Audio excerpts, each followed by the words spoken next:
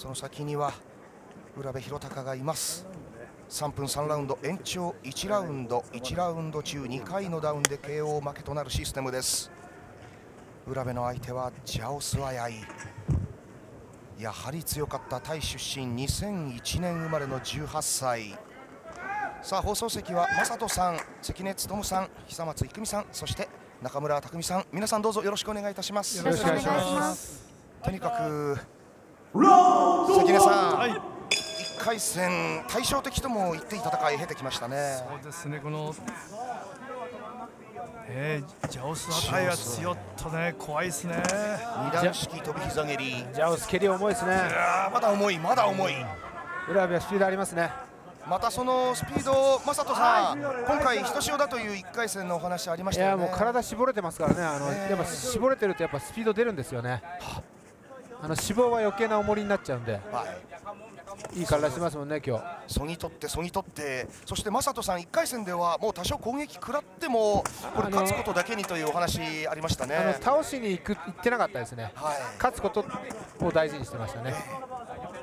それを乗り越えての浦部弘隆30歳になりました。左のミドルこれも強烈です。サウスポーで構えて右を前に構えてローキックのジャオスアヤイ。そこにハイキックは一撃浦部です。立ち上がり中村さん、はい、2人の戦いどうご覧になってるんですか？そうですね、まあ、まずはでもこうこれが怖いんですね。このジャオス若いのに気が強いですね。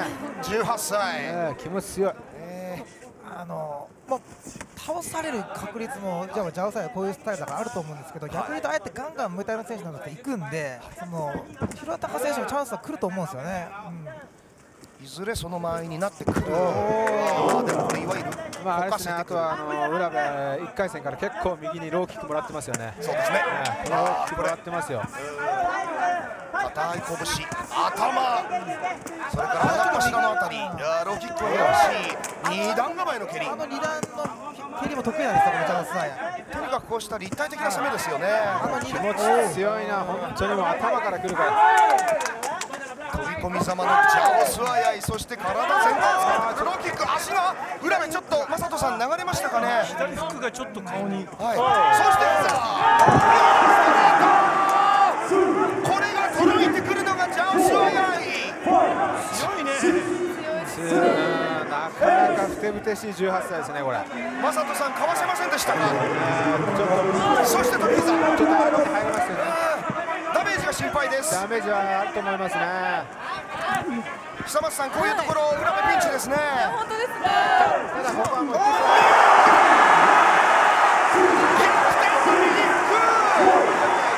いんですよ下がったら負けるんでこれお互い倒しにきますよこれ。下がりません。お互い下がらないですよこれ。さあもう一回お互い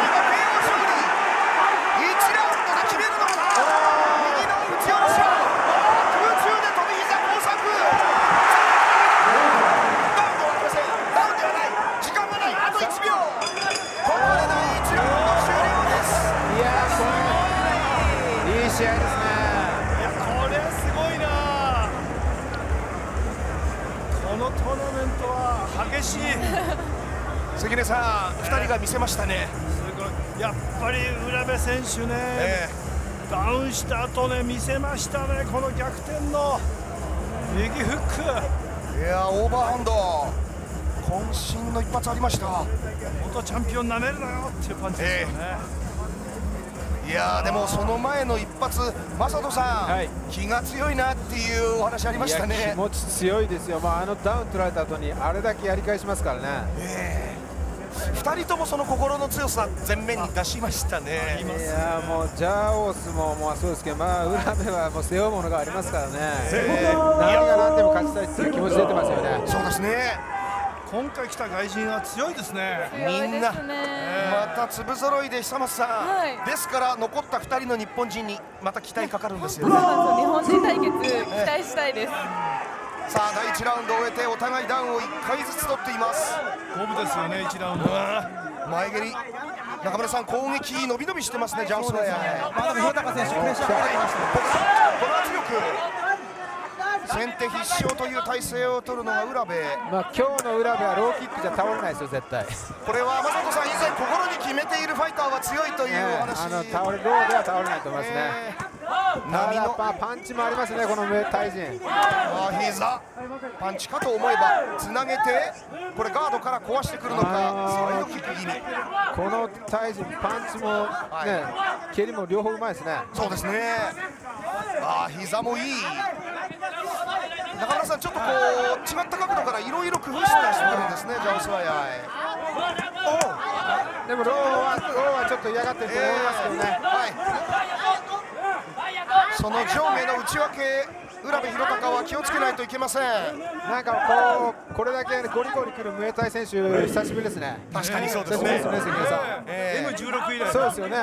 昔はこういうタイ人多かったですもんね、ー、正人さんまさにブアパオとは競り合ってきましたよね。ね K1 の戦いの1ページはこの横浜アリーナにも確実に刻まれています。ジャオスは一発一発が気合い入れて打ちますよねあ聞いたかあ聞いた右キックジャオスワヤイもまだ狙うそれでもフックのパンチは浦部左ミドルそれでも下がらない今日の浦部の気持ちいいミドルだ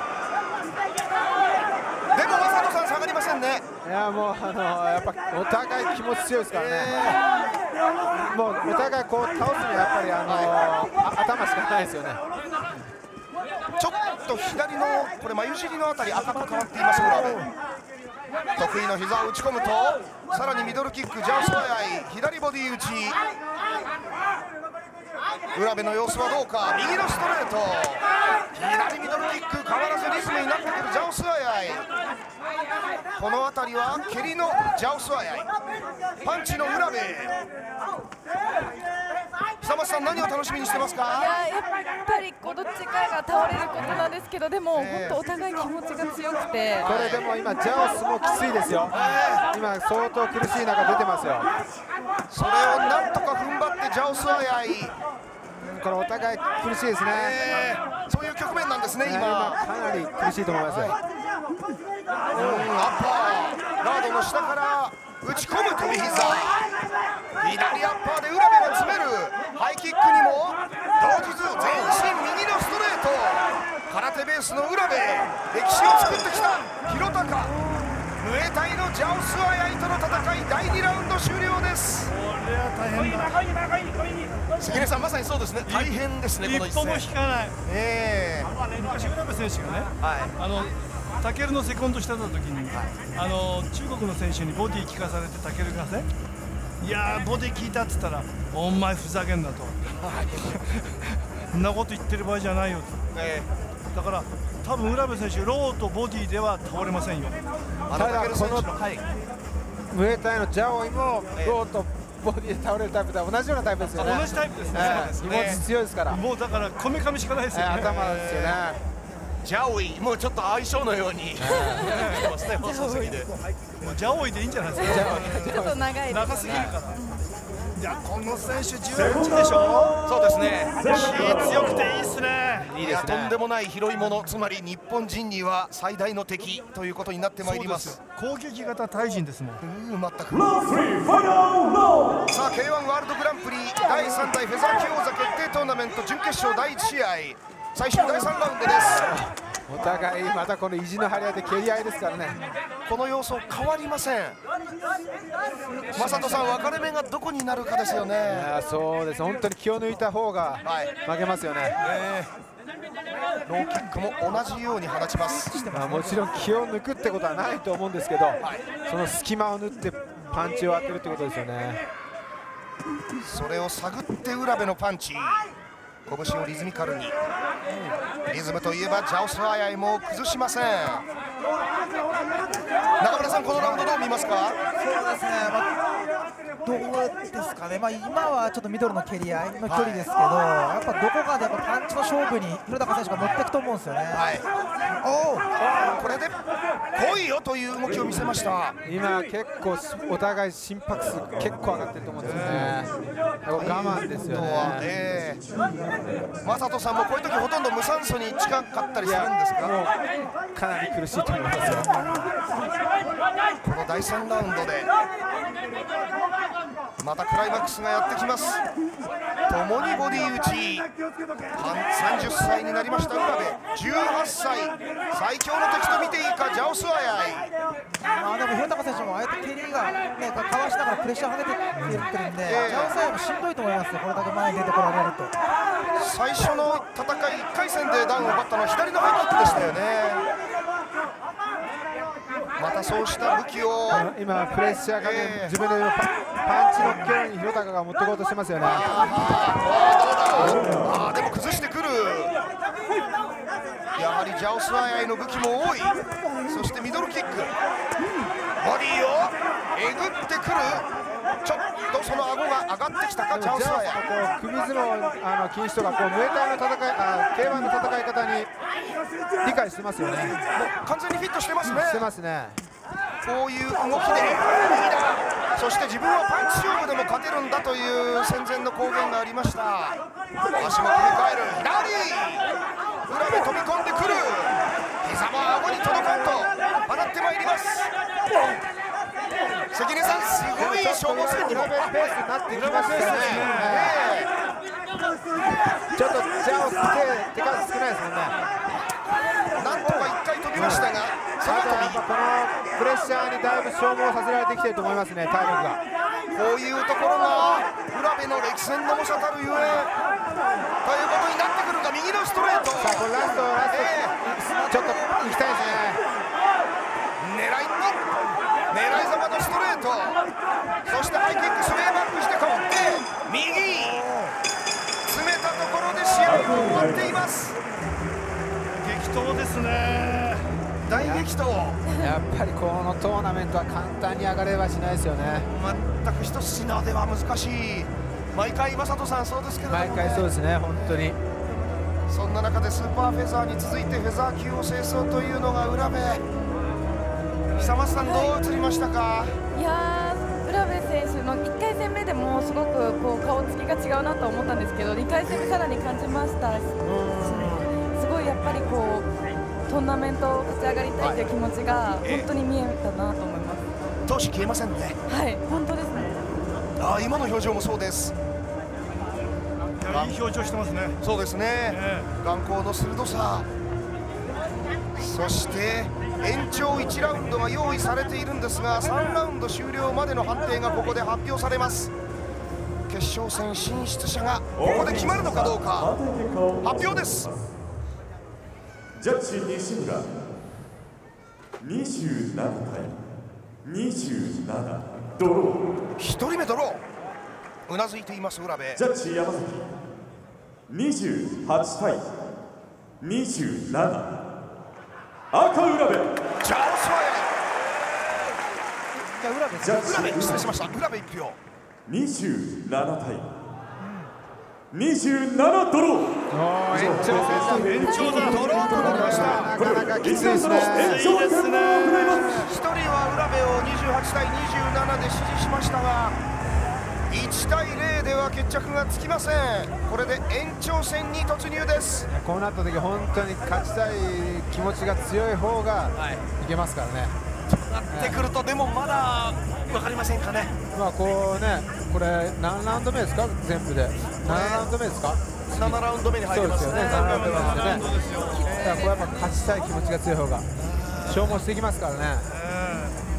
あとだからどれだけ普段練習してたか、はい、このね試合に向けて仕上げがどれこまで、あとは気持ちですよね。今弟の浦部光也コーチから策も授けられているものと思われます。気持ちではね絶対負けてないと思うんですよ、はい。えー、ただタイ人もねあのやっぱり本場ですから。それはもう負けてはいられないっていう、えー、それジムのねそうですね。タイファイトジムのねエクストララウンド代表ですからそれを背負ってのこの出陣エクストララウンドに突入しています。やっぱり手数ですよね。一声一声上げながらこのミドルキック共に入ってまいります。打ってまいります。攻勢ですよ攻勢。さらに右のボディ打ち。おうまくブロックした。よく見えてましたね。今右でブロックしましたよちょっとでも関根さんあのブロックごと壊されるなんてこともありえますよね。ちょっとでもすり抜けたら顎にきますよ。でちょっとジャオススピード落ちましたよ。変わってきましたか？スピードが落ちてきましたね。廣高選手もしっかり展開ですけど、3ラウンドみたいにプレッシャーかけていけば、ジャワさえ、ね、消耗してくると思うんですけどね、うん。まあでも弘高も、まあもちろん疲れてますね時折体がちょっとこう不用意な方向に流れることもあります。それでも正人さん一貫しているのは、はい。まあ、浦部が特にこう位置を譲らない風に見えます。まあプレッシャーかけてますよね。ええ。この迫力パパになるそんな報道もありました。浦部弘隆。背負うものがまた大きくなりましたリング中央右で入ってくるジャオスアヤイさらに左のミドルキックへ。結構腕も痛いかもしれないですね。いやそうですよね。腕あ右の腕。これだけ食らってもという攻撃ありました。今もそうですね。右のストレート。でもこう裏が狙ってますね。こう手数で出すというより一発狙っていこうっていう。ちょっと精度重視に変わってきましたそうですねあ確かに動きは必要最小限。そんな風に見えています。準決勝。残り1分なんで出てほしい。ですそうですね。1分なんかこうポイント取るような。やっぱ大事ですよね。お互い。久松さんどう見てるんですか？いやーなんかどっちがこう先に追い込むんだろうって思うんですけど体力がもう本当心配ですね。えーそうですね。はい。その時がいつやってくるのかですよねでもすぐにパンチを浦部が返しています。この辺りもほんの紙一重。全て膝。このカウンター転換を気味に放ってきます。そして、体真っ赤ですからね。えー全身。全身悲鳴を上げています。20秒いきたいですね。あと今20秒を切りました。いやー足も痛いなでも。ローキックに右のストレート。引かないというジャンプサイへ。の動き飛び沢ミドルスキー得意な動きをここでジャンプサイでもそのテンポ威力はまだありますが右のミドルで返しての裏目いやー難しい判定だねこれまたジャッジ泣かせ。中村さんいかがでしたか？そうですね、廣中選手はじりじりこうプレッシャーかけながら一発狙いつつ、はい。ジャオサイはね距離取ってミドルをバンバン蹴ってってっていうところで、まあ、攻撃のね、なんだろうな、まあ、ジャオセイはの方がまあうまくこう戦って逃げき逃げ切るじゃないですけど、ポイントを取ろうとしたような展開だったかなと思いますね。でそこに正人さんのお話がありました。精度でというふうに浦部が狙いを定めてまいりましたね。そうですね。まあでもどちらが勝ったにせよ決勝戦はなかなか大変ななりますよね。ジャッジ西村さあ運命の発表です。10対9青ジャオサヤイジャオスアヤイが1票取っています。ジャッジ山2人目で決まるの崎か10対9青ジャオサヤイジャジャッオスジ10対9青ジャオサヤイ三者10対9 2階級制覇に向けて執念の浦部弘隆を競り合いの末下しました。ジャオスアヤイアユタヤファイトジム。勝ちました。ジャオサヤイ選手は決勝戦正進出人さん判となり定下されました。どうでしょそううですね。やっぱりミドルキックの手手数ですよね、ええ。のポイントで取りましたよね。さあ重視されたポイントなど改めてこれリプレイでご覧いただきます。関野さんの目にどう映ったかぜひ教えてくだ手さい。数がちょっとねはい。ヒットした数がやっぱりジャオス愛ですか？はい。ジャオスイヤ選手会場。いやおちょっと多かったような気もしますよねまあでも本当に中村さん、はい、ジャオスワヤイが K1 の戦いにフィットしているという、ね、正選手の言葉通り、はい、あの本当に K1 の中でのムエタのテクニック自分のスタイルというのを本当に存分に出した展開だったと思いますね、まあ、あと浦部選手は、えー、ブランドン・スペインとの激闘の、はい、ちょっとダメージもあったと思いますよね。まあそれもすべてトーナメントという側面か。決勝に進出は強い18歳です。ジャオスワヤイアユタヤファイトジム